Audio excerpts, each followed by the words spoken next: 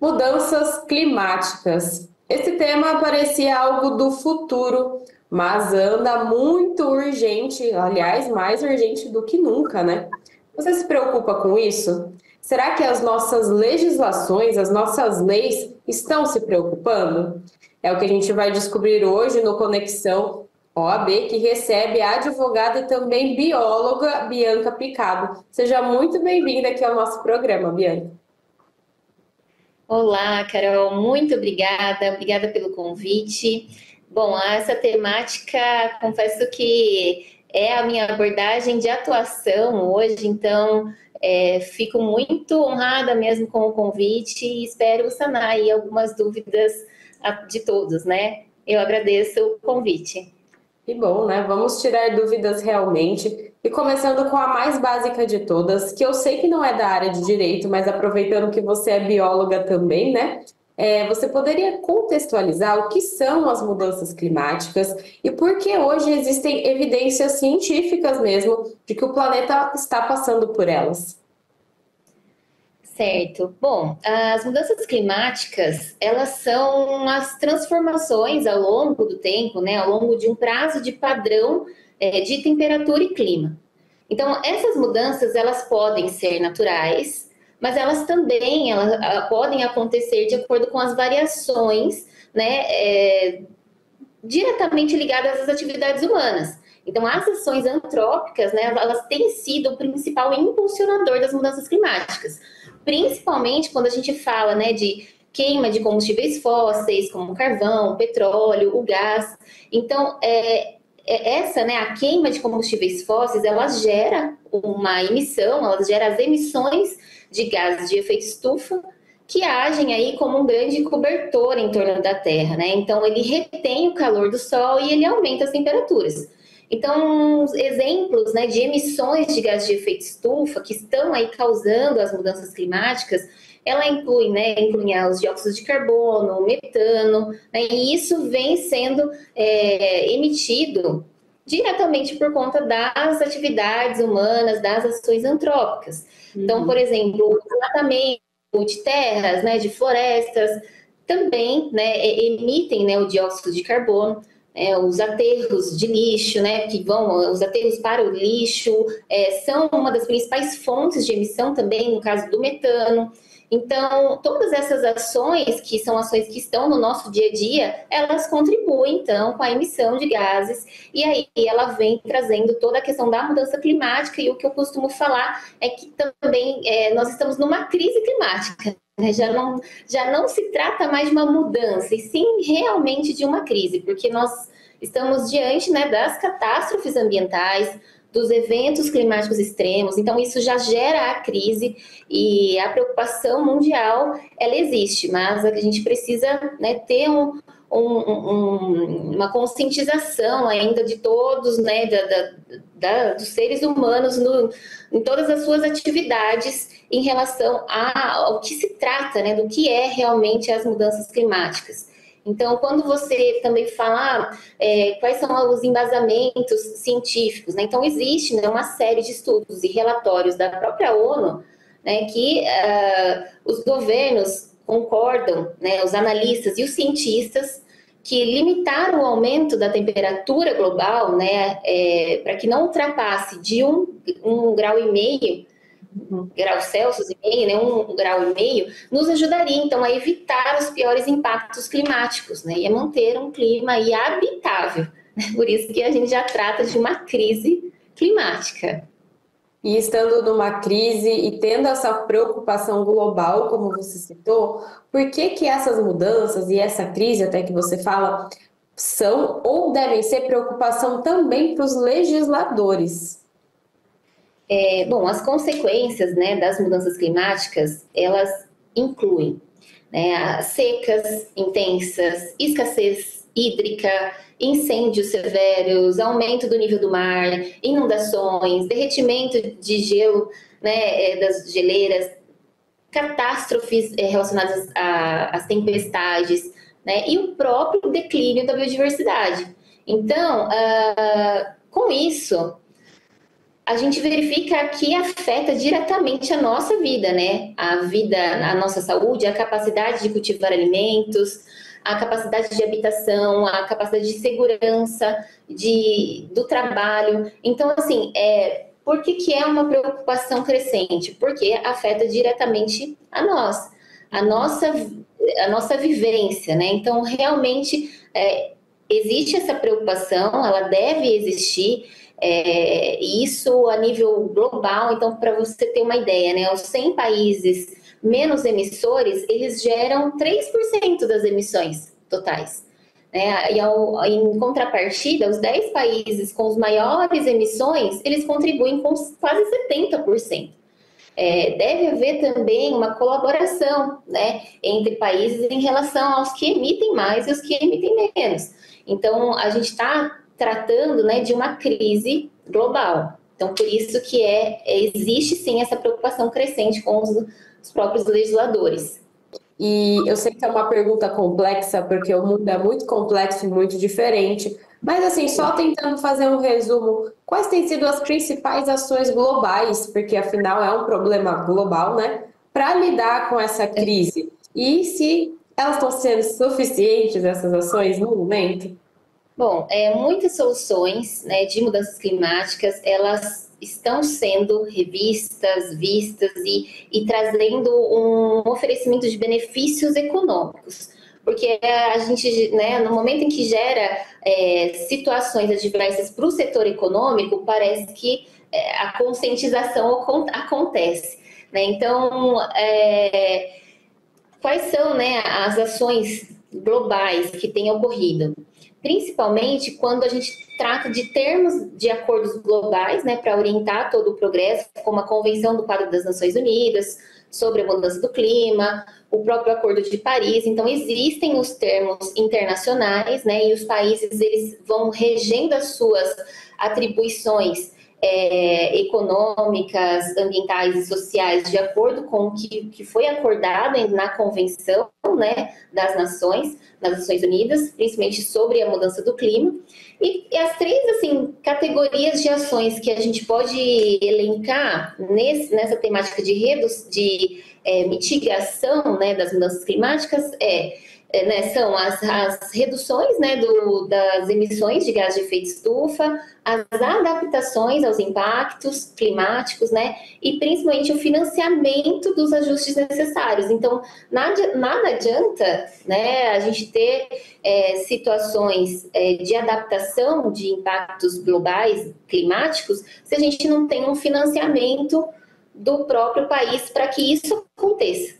Né? Então, isso é muito discutido nas COPs, né? Na, na, nas COPs que são os encontros aí de, dos, dos países que são signatários desses termos internacionais, e aí muito tem se discutido o financiamento desses, desses ajustes que são necessários para mitigar né, as mudanças climáticas. Agora que a gente fez esse panorama, né, já explicou o que são as mudanças climáticas, entendemos que estamos numa crise, falamos um pouquinho de como o mundo todo está envolvido nisso, Vamos trazer o olhar um pouquinho para o nosso país, o Brasil, e falar de leis, né? Então, aqui no Brasil, a legislação atual ela está preparada para lidar com as mudanças climáticas que estão já ocorrendo e tem havido, né, um olhar do Congresso, principalmente, já que a gente está falando de legislações, é, ou de outras esferas também, né, para desenvolver essas novas legislações ou adaptar as que já existem? É, sim, Carol, né, como você mesmo disse, o que está acontecendo com o Congresso? Então, realmente cabe ao Congresso Nacional garantir né, o respaldo na legislação para ações possíveis e necessárias. Né? Então, possíveis, necessárias e eficientes. Então, até que ponto a gente tem um financiamento do, do próprio governo federal para que, é, para que garanta também todo esse respaldo que o Congresso Nacional tem né, o dever aí de, de trazer. Cabe também ao Congresso Nacional autorizar ajustes nas leis, liberar recursos, né? O próprio poder legislativo, ele tem a função central ali de garantir um marco legal para uma resposta adequada, né, às mudanças climáticas e as medidas para que a gente consiga aí frear então o aquecimento global. Garantindo principalmente uma transição energética e a, o próprio desenvolvimento sustentável. Então, o Brasil ele tem uma gama de legislação ambiental que é considerada aí uma das legislações mais abrangentes do mundo, mas até que ponto ela é eficaz e até que ponto ela realmente lida com mudanças climáticas? Ainda estamos caminhando nesse sentido de efetividade tá? Mas realmente cabe aí ao Congresso nesse momento, principalmente num momento de, de calamidade, né, que a gente verificou aí o que aconteceu no, no Rio Grande do Sul, é, a, a prevenção, né, e a precaução é, e reforçando aí a necessidade de preparo do país, né, para essas adaptações climáticas. É um cenário desafiador, né? Obviamente, porque a gente está tratando aí principalmente de perdas de vidas humanas, né? No caso ali do, do Rio Grande do Sul e outros casos que nós tivemos no Brasil e no mundo aí que nós estamos é, verificando, né? Mas a gente precisa então, sobretudo, ser propositivo, principalmente o Congresso Nacional nesse momento. Né? É, iniciativas, por exemplo, para aumentar punição dos crimes ambientais, é, reforçar aí as agências de fiscalização. Nós temos esse, esse grande gap relacionado à fiscalização no Brasil, é, buscar uma política pública. Né? Exatamente. Então, assim, a fiscalização em si é algo que ela é prevista né, no nosso ordenamento jurídico, um instrumento jurídico previsto, mas a efetividade a gente verifica uma uma situação complexa, né? É, trabalhar ali com políticas públicas, a questão do desmatamento zero, né? E todas as medidas aí para que a gente consiga, de fato, é, ter uma legislação robusta, mas efetiva. E agora eu teria que perguntar também, né, o outro lado. A gente está falando, então, dessas legislações, desse caminhar para para se defender, né, para mitigar, como você falou mesmo, as consequências das mudanças climáticas.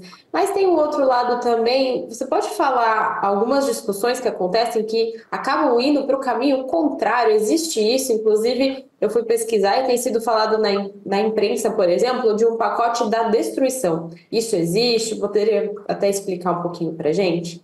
Sim, é, o pacote da destruição é, foi dado né, esse nome porque existe hoje, né, na Câmara, no Congresso, em análise, aproximadamente 25 projetos de lei aí, dos quais, é, e três propostas, inclusive, de emenda constitucional, que são relacionadas à, à flexibilização das leis que protegem o meio ambiente. Então, na verdade, esse, esse pacote, né, são vários PLs que uh, prevê aí essa flexibilização. Então, é, por exemplo, hoje a gente tem um licenciamento ambiental que ele exige né, uma robustez, ele, ele tem um procedimento a ser seguido para que você consiga licenciar uma atividade que é potencialmente poluidora.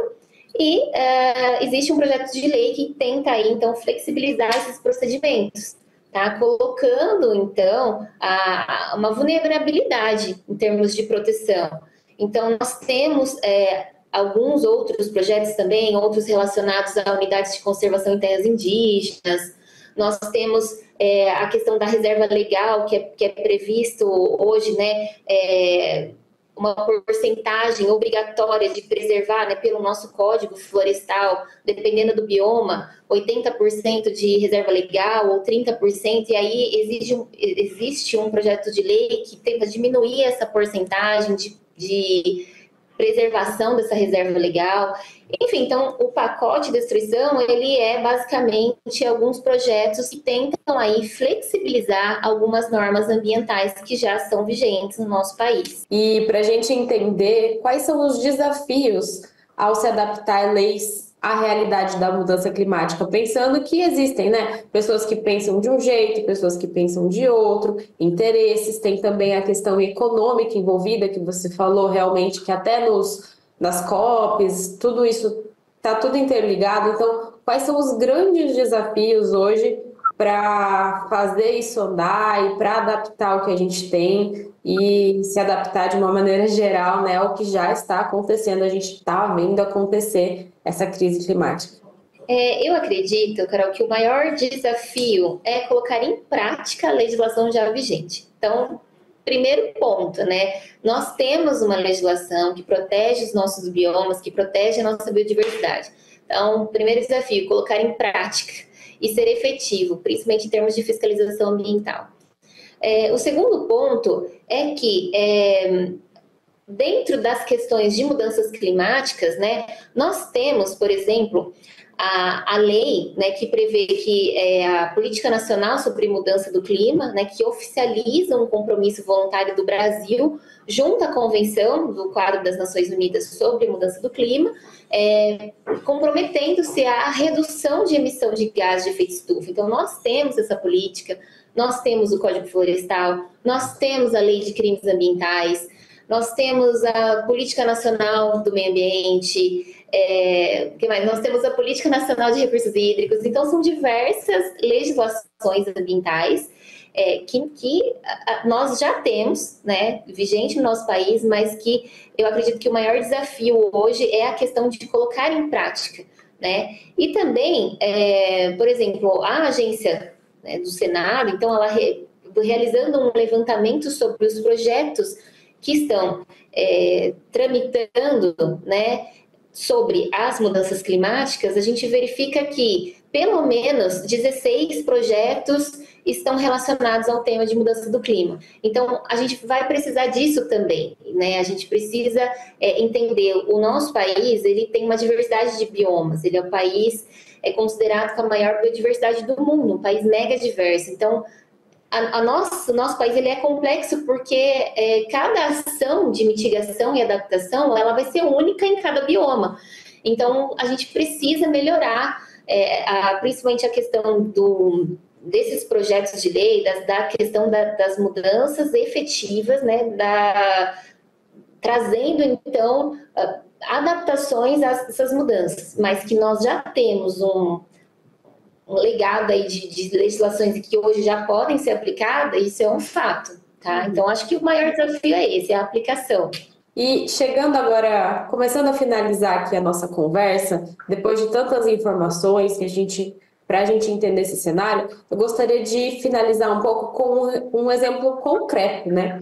E a gente tem um exemplo recente que foi a tragédia do Rio Grande do Sul. Então, para as pessoas entenderem, né, é, como que essa tragédia do Rio Grande do Sul, como que isso está relacionado com as mudanças climáticas e como que está relacionado também, como aconteceu, né, uma chuva tão intensa que trouxe tantas consequências, o, como isso também está relacionado com a legislação, tanto a que existe ou a que falta, ou a aplicação dessa legislação, né? Como que tudo isso se relaciona e aí a gente vendo realmente acontecendo um exemplo muito concreto? É, Carol, um estudo recente publicado no início de junho é, de, uma, de uma agência internacional, ela indica que as mudanças climáticas elas dobraram né, da, de probabilidade de um evento extremo no Rio Grande do Sul. Então, é, e aumentaram a sua intensidade em seis, de 6 a 9%. Então, esse é um estudo né, que, que, recentemente foi, foi, foi publicado em relação a esse estado. Então, a análise, essa análise, esse estudo, ele considerou dados meteorológicos e modelos climáticos. Tá? Então, de acordo com o estudo, né, além das questões de mudanças do clima, houve também falhas né, de infraestrutura e que contribuíram aí para essa situação. Então, é, as, as, pessoas né, realmente perguntam o que aconteceu no Rio Grande do Sul tem a ver com as mudanças climáticas? Sim, ela tem a ver, existe essa probabilidade, né, publicada cientificamente falando, mas nós também temos uma falha de infraestrutura e ocupação, né, ocupação antrópica. E toda... né, pensar, né? Exatamente, né? Toda aquela questão, aquele, aquela, é, aquele legado ambiental que a gente fala, né, municipal, né, de é, uso do solo, as zonas, né, restritas de uso e atenção hídrica, enfim, todo o mapeamento né, da, do município, ele tá, ele interfere, todas as zonas de ocupação do município, do município, ele vai interferir na probabilidade de enchentes ou não naquela localização. Né? Então, houve uma sucessão aí de, de situações, né, é, para que ocorresse, para que esteja ocorrendo, né? Estamos ainda numa situação delicada no Rio Grande do Sul, vai um bom tempo para que isso venha. Acho que nem, nem existe mais uma forma de restabelecimento total do, da, do tamanho da tragédia que nós vimos, mas isso vem muito sim de encontro com as questões das ações e a falta do olhar né, é, da agenda ambiental. Né? A agenda ambiental, ela não é uma agenda de ativista. Né? E é isso que a gente precisa entender também. Eu falo muito isso, né? É, não é que você, quando você defende uma pauta ambiental, uma agenda ambiental, ela não significativamente ela é, é uma agenda ativista. A agenda ambiental ela é para nossa vida, né? Para que a gente consiga habitar no planeta. Então, eu acho que essa conscientização ainda falta bastante em todos os setores. Mas quando a gente fala de um, do setor econômico, é mais difícil ainda você trazer uma agenda ambiental. É mais difícil ainda, porque realmente o desenvolvimento econômico e a preservação do meio ambiente é, é, é o que a gente busca, né? É a, é o que a gente quer, o que a humanidade desejaria, mas que é o mais difícil, é o mais desafiador, que é o desenvolvimento econômico e ao mesmo tempo você preservar e conservar o meio ambiente.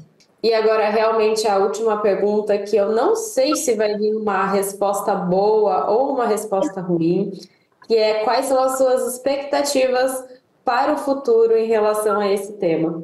Para que a gente crie né, uma mudança real e duradoura, né, a gente precisa estar disposto né, a questionar os nossos próprios modos de vida. Então, e engajar aí nesse processo contínuo de aprendizado e evolução. Não tem como. Né? Então, essa transformação, ela não é uma transformação fácil, ela não é, é uma transformação desafiadora né, e de comprometimento de todos nós, né? E, e aí é você, na verdade, a questão da, da, da agenda de meio ambiente não ser uma agenda ativista e sim uma agenda ambientalista para que a gente possa ter uma vida, né, um equilíbrio ambiental e uma vida saudável e que a gente consiga habitar, né, ela também é uma agenda social. Então eu acho que as expectativas elas elas são boas, é, pela movimentação mundial. Mas a gente precisa trabalhar ações pontuais também nos detalhes, né? No mínimo. Então, às vezes, a gente tem uma, uma, conscientização assim, ah, imagina, não vou fazer isso aqui, isso aqui é uma ação minha, isso aqui vai mudar o planeta, por exemplo. Dar um exemplo, ah, é, a questão do descarte de resíduos. Então, você fala, puxa vida, isso vai influenciar nas mudanças climáticas? É claro que a gente está tratando de proporções diferentes, né? Eu estava falando para vocês de emissão de gases de efeito estufa, de petróleo, de queima de combustíveis fósseis, mas tudo isso vem do mínimo, entendeu? Vem de cá, vem da, da, dos nossos do nosso cotidiano, né? Então, eu acredito que existe uma expectativa boa. O Brasil ele está é, se movimentando numa agenda ambiental forte é, principalmente, principalmente na transição energética, né? A gente tem se mostrado aí com as questões do hidrogênio verde é, sendo um destaque internacional as questões de hidrogênio verde. É, nós temos grandes possibilidades do Brasil de, de ser aí é, um grande tomador de, de conservação em termos de é, mitigação e diminuição de gases de efeito estufa devido a, aos nossos biomas. Então, em termos assim do, do, país, eu acredito que a gente tem uma boa perspectiva, né? Mas eu acho ainda, né, que nós temos ali que, que ter a, a conscientização, tratar isso como uma agenda social também, né? E não só ambiental, cuidar do meio ambiente de verdade é cuidar do país, né? Cuidar da que a gente tenha realmente uma vida que a gente possa deixar para as futuras gerações algo ainda, né? Então, para presentes e futuras gerações. Envolver todo mundo, porque é um assunto que realmente afeta a vida de todos aqui no planeta Terra. E também, terminando com um clichê, né? Não existe planeta B, então tem que cuidar do que a gente tem, né? Exatamente, Carol, perfeita sua colocação final. Não existe planeta B, né? A gente tem que fazer o hoje e agora. E os nossos líderes, quem são os nossos líderes, né? Os, os, os governos, né? desde a lei federal, estadual, municipal. Se a gente não tem um líder que tem uma agenda ambiental, quem sofre é a população daquela agenda, daquele município ou daquele estado que não tem essa agenda. Então a gente vê, a gente está vendo isso acontecer quase que aí, né, semanalmente em todo mundo, né? Então eu acredito que é isso, não temos um planeta B. Muito obrigada por essa entrevista. Você que está acompanhando ouviu a advogada Bianca Picado falando aqui sobre as mudanças climáticas, crise climática e o que tem sido feito para lidar com elas. Muito obrigada pela sua presença e obrigada também você que acompanhou Conexão OAB desse mês de junho, inclusive que é o Junho Verde aqui na nossa cidade, mês de conscientização e proteção do meio ambiente. Então a gente se vê na próxima oportunidade. Até lá!